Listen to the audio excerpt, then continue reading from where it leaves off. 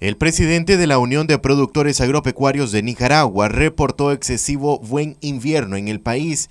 Sin embargo, hay unos retrasos en la siembra. La verdad es que estas lluvias nos tienen afligidos porque ha sido, ya tenemos lugares en las zonas de nosotros, pues en León y Chinandega, que, que ya andamos casi con lo que llovió todo el año pasado.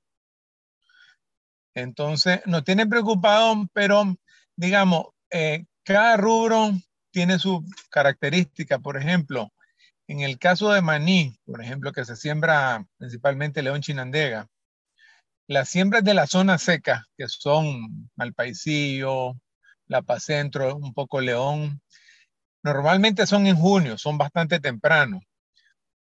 Chinandega tradicionalmente se siembra un poco más tarde, puede llegar hasta julio. Entonces, el problema es que hay un atraso en todas las preparaciones. Ya, como te digo, deberían estar sembrando y están, y están atrasados en todo lo que... Hay atrasos en siembra, que ya no son tantas las áreas como antes, porque solo siembran los que no tienen riego. Pero, pero hay un atraso en las labores, pues igual, en, aplicación de herbicidas, aplicación de fertilizantes, en aplicación para para plagas como salivita.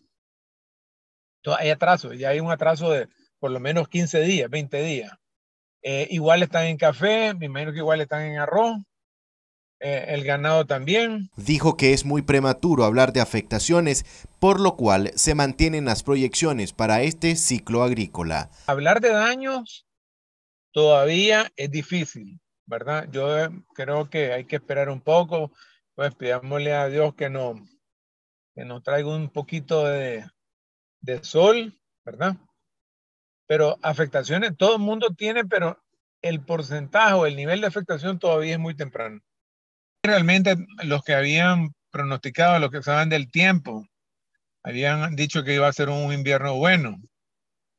Y pues hasta el momento ha sido demasiado bueno. ¿verdad? Eh, yo, creo que nosotros mantenemos las proyecciones del momento, pues, ¿verdad? Porque todavía no podemos decir que hay daños, pues, significativos como para decir que vos estás cambiando tu pronóstico de cosecha, ¿verdad? Eh, habría que esperar, Marcos, para decir si hay un cambio en, en el pronóstico que tenemos de un buen invierno. Marcos Medina, Noticias 12.